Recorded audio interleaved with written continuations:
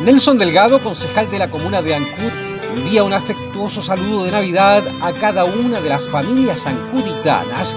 y ante la difícil contingencia que estamos viviendo como país, los insta a unirse más que nunca en torno al cariño familiar,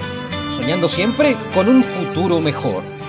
Además, el concejal Nelson Delgado hace propicia esta ocasión para reiterar sus sentimientos de consideración y estima y desea que el año 2020 sea de éxito y felicidad para todas y todos los vecinos de nuestra comuna.